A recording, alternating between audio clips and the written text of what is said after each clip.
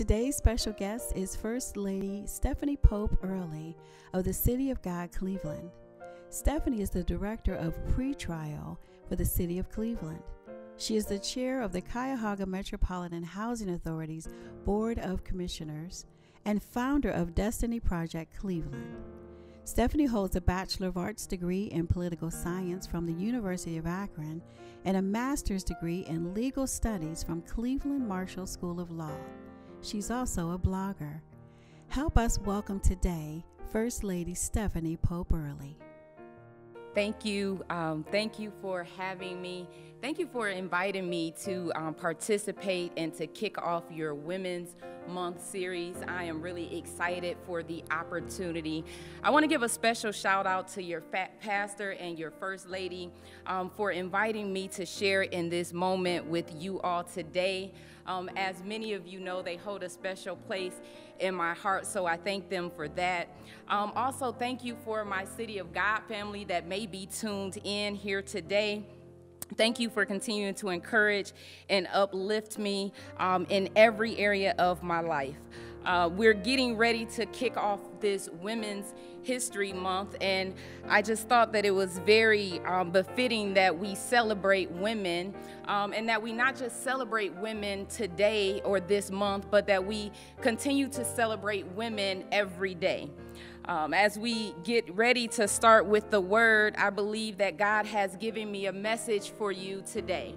Um, and the word is entitled, God Will Provide. Turn with me, if you will, to 1 Kings 17, uh, verses 8 through 16. 1 Kings 17, verses 8 through 16.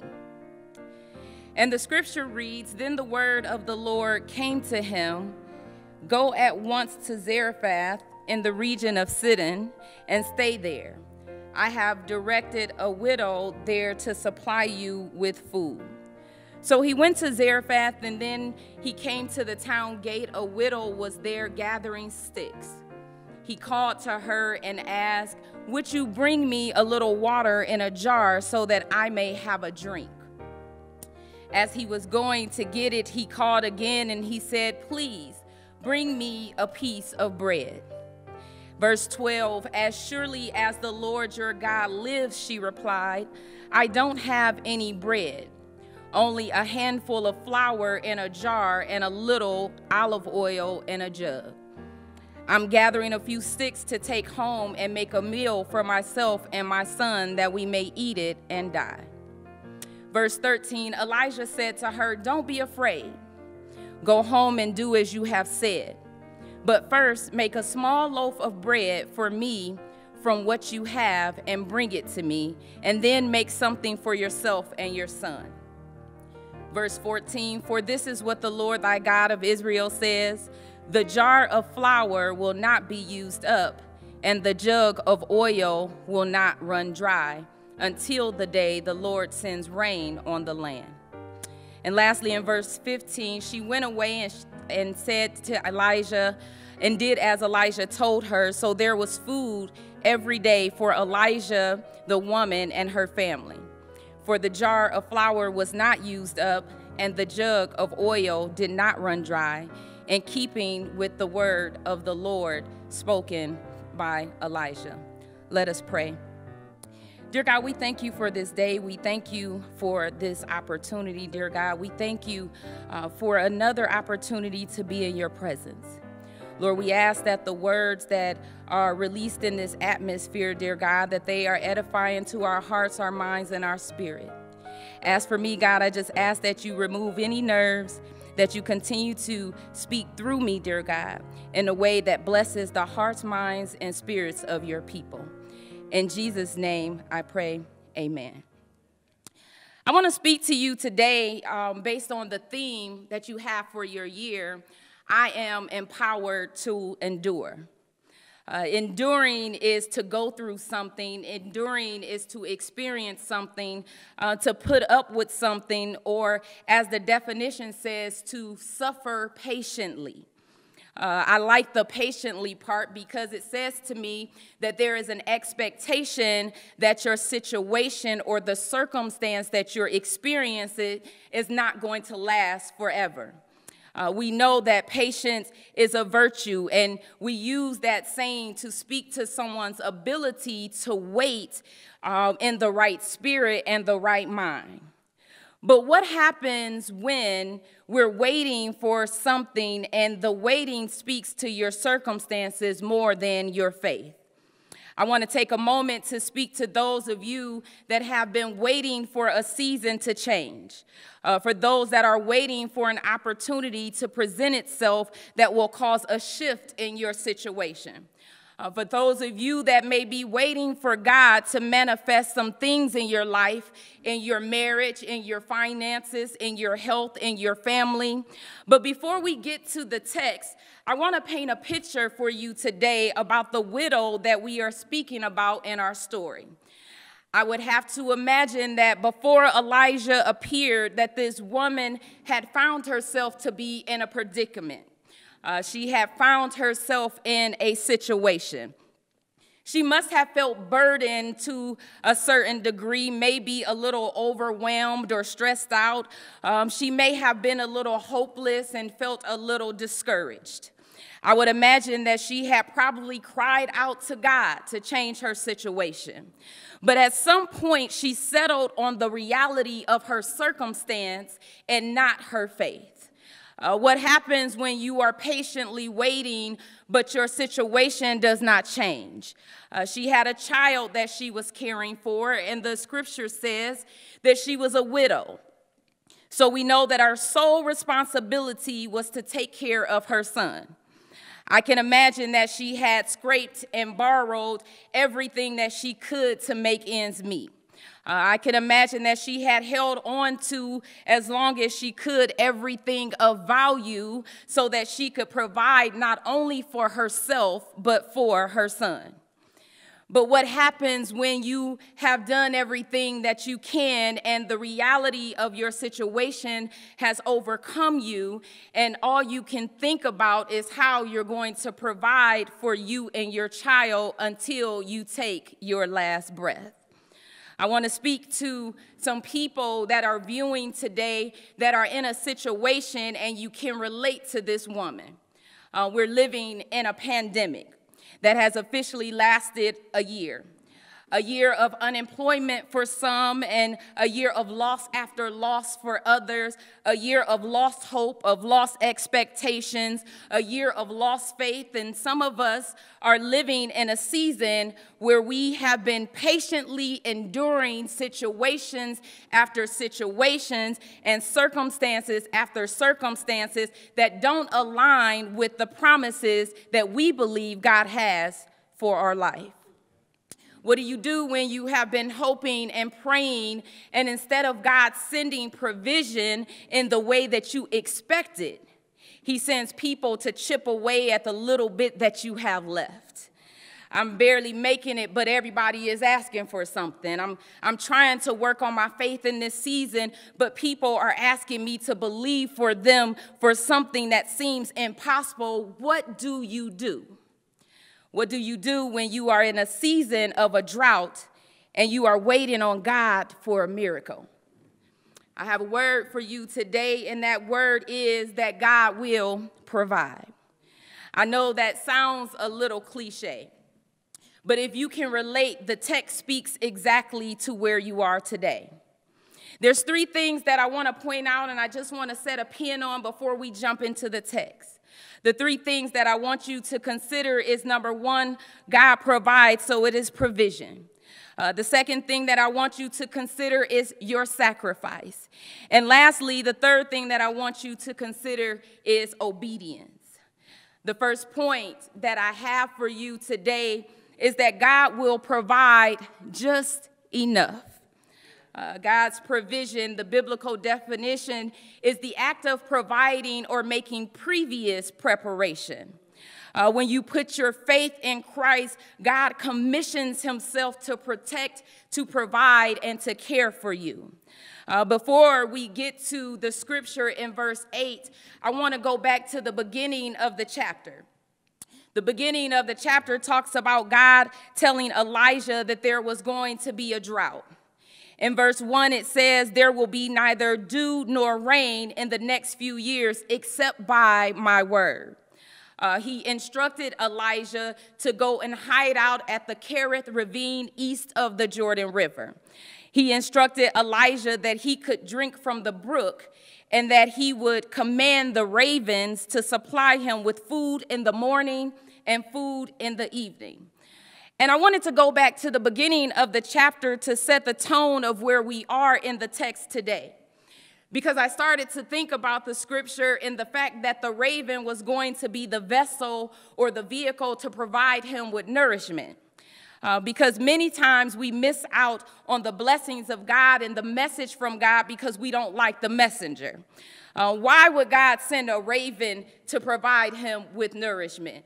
Uh, generally speaking, we know ravens are scavengers. We think of ravens as being unclean. We think of them as being birds that pick on the leftover and the things that we would despise. Uh, the scripture even tells us in Deuteronomy 14 that when God listed the list of uh, birds that the Israelites were not to feast on, the ravens were on the do not feast list. uh, we know that they, they are known to feast on garbage and rodents and things that we would not consider. So, why then would God supply something that is necessary for your survival by way of something that does not align with your expectation? God often sends unsightly things and people in situations that we perceive to be bad timing to show you that He can supply whatever you need in whatever manner He so chooses. Uh, the scripture in 1 Corinthians 1 and 28 sums it up very well. It says that God chose what is low and despised in the world, even things that are not, to bring to nothing things that are God will provide just enough. Uh, and he will do it in the way that he chooses by way of the vehicle that he decides. So I don't want you to get caught up in thinking that God's provision is based upon your expectation. Uh, because we can miss the move of God because it's not packaged the way that we think that it should be packaged. But God will provide just enough. I want to add a point right here, and the scripture says that God commanded the ravens to supply the food in the morning and the evening. He didn't provide them for food for the entire month. He didn't provide him food for the whole week. He didn't provide him food um, outside of anything that was fancy or anything that was um, that we would expect. But he commanded an unclean bird to provide food and bread that many of us would have discounted, dismissed, and despised. He will provide just enough. When the brook dried up, the scripture says that it didn't mean that Elijah was going to be a product of the drought.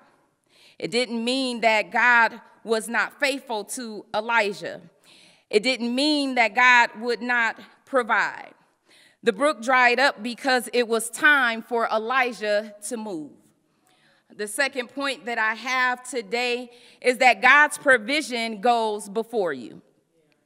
Isaiah 45 and 2 says, I will go before you and make the rough places smooth.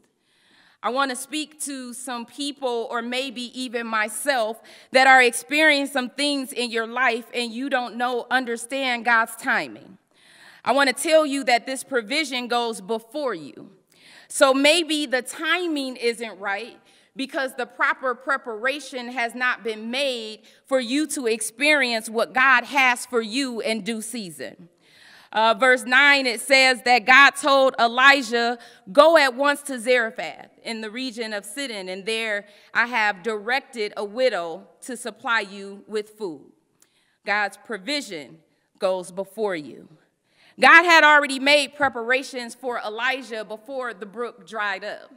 Uh, this is interesting to me because this is the second time that God had already made preparations for Elijah. First, it was the ravens at the brook, and now it is the widow at in uh, Zarephath. But God had made these preparations for Elijah before he even got to the place that God instructed him to go. Uh, he instructed him to go see a widow, the widow that's barely making it, the widow that's on her last, the widow who is preparing for the end because she does not have enough. Uh, the revelation that God showed me is that his provision that goes before you is not just for you. Uh, he instructed a woman that had nothing during her time of need to provide something for someone in need so that ultimately it will sustain her situation. Uh, God's provision is not just for you. Uh, the process of provision starts when we offer what we have. Uh, when the prophet came and asked for water, the widow could oblige. Uh, but it wasn't until he asked for something that she needed to survive that she hesitated. I can imagine that this is where the widow almost missed her blessing. Amen, somebody. Uh, because in verse 12 it says, As surely as the Lord your God lives, she replied, I do not have any bread, only a handful of flour in a jar and a little olive oil in a jug. I'm gathering some sticks to take home to make a meal for my son that we may eat it and die. The widow is a good example of how we make our own plans even in the midst of God's promise. See, the process of provision starts when you offer what you have. Uh, if you do your part, God will sustain you. If you are faithful and obedient, God will provide. He will meet you right where you are, but the key words are if and sacrifice. In verse 13, it says, Elijah said to her, Do not be afraid. Go home and do as you have said. But first, make take a small loaf of bread for me and what you have and bring it to me, and then make something for yourself and your son. The third point that I have for you today is that God's provision follows belief. On this journey, God is calling his people to walk by faith and in his promises. Uh, for a second, I would have to imagine that her focus was on the drought and on her situation. The focus may have been on her circumstances and not her faith. We know she heard God because of his instruction to Elijah. Uh, in verse 9, God told Elijah, I have directed a widow to supply you with food. So the issue was not in her hearing God, but the issue was in her trusting God. And see, many of us are going through seasons in our life where we're hearing God, but the issue is that we have a challenge in trusting and believing that there will be a manifestation of the things that God has already spoken in our life. Uh, we got control issues. We, we have some issues in dealing with things that are out of our control. And that is the problem that I believe that the woman may have encountered in this moment. Uh, hearing God, hearing God, the Bible definition says it involves physical hearing that inspires the hearer and a belief or trust that in turn motivates the hearer to act. Hearing God not only involves a physical hearing, um, but it is the ability to act on what you have heard. Uh, that sounds like something that reminds me of faith, amen? It's not that we don't hear God, it's just that we don't act on what we've heard. And sometimes we handicapped ourselves because we're not obedient to what God has instructed us because we are trusting the process that He has placed before us. Uh, we have to be obedient because God's provision follows belief. That's why you have to be careful to not get weary in your suffering, but to be able to endure or patiently wait on God and the promises He has spoken over your life. Uh, God is a provider of what you need and not necessarily what you want. Uh, God provides is usually necessary for your purpose. What He provides is usually necessary for your assignment that you have on your life. What He provides is usually necessary to sustain you while you're in the season that you're in, whether or not He delivers you out of that season or not. Many of us Many of us are in situations right now and they don't align with what our expectations are and they don't align with what we think we should have or how we think we should be living. I have to tell you that God will provide exactly what you need in every season of your life. God's provision, his provision is generally different than what we expect. Uh, we make our own plans, even in the midst of God's promise, uh, because we think it's supposed to look a certain kind of way or we think it's supposed to feel a certain kind of way. Uh, but God can provide and sustain you without changing the condition of your season. Uh, that's why you have to be empowered to endure. There are going to be some situations and circumstances that we experience in our life. Uh, there will be some seasons of lack and some seasons of uncertainty and some seasons of loss, but we have to be able to endure the seasons so that we can not only be blessed, but that we can be a blessing to others. Uh, when we are blessed, it overflows. And this is a good uh, uh, example of that in the text today that there is an overflow that comes by your obedience. Uh, out of our obedience is someone else's provision out of our sacrifices someone else's blessing. So some of us are experiencing a drought in this season right now. And it's difficult to think about other people when you're going through the very thing that you're trying to get over yourself. Uh, we are in a prolonged absence of something we are believing God for. But many of us are going through droughts in our life, a season where we are lacking a specific thing. These droughts cause us to question God. These droughts cause us to doubt. And I'm not talking to the sanctified people that may be listening here today. I'm talking to the people that can relate to the widow that's in the text. Um, but I want to empower you today um, in the scripture. The scripture in verse 16 says, For the jar of flour was not used up, and the jug of oil did not run dry, in keeping with the word of the Lord. See, that's the place that you want to shout no matter where you are, whether you're driving in your car or whether you're sitting in your living room, because even in the midst of drought, even in the midst of lack, even in the midst of giving your last, God's word does not return void, but it accomplishes everything that He has purpose under the heaven. How many believers do we have in the house that know that no matter the circumstance that God is still a provider? Uh, no matter the struggle, God got me. He got me. No matter what it is that I need, God is a sustainer. Whatever I need, God is. In my lonely places, God is love. When I start to experience anxiety and have these emotional thoughts and I don't know how to bring myself back, God says, I am your peace. When I feel weak in my body and I don't really know what to do, God says that I am your strength. When I feel like sickness has overtaken me and the doctors are just all over the place and I don't want to believe, God says, I am your healer when I start to question my path, and God says, I am the Alpha and the Omega, the beginning and the end. So I know that I don't have to have it all figured out on my own. When I am afraid and fearful of the places that God has positioned me in this season of my life, God says, Fear not, I am your shield. I will go before you and make provisions for you when I start to beat myself up and question the decisions and the mistakes that I've made in my life, I know that God says, I am your redemption. Uh, when I get weary in my calling and begin to question my qualifications, am I good enough? Am I worthy enough? God says, I am. God is everything that you need. I am everything. The scripture tells us that the drought lasted for three and a half years.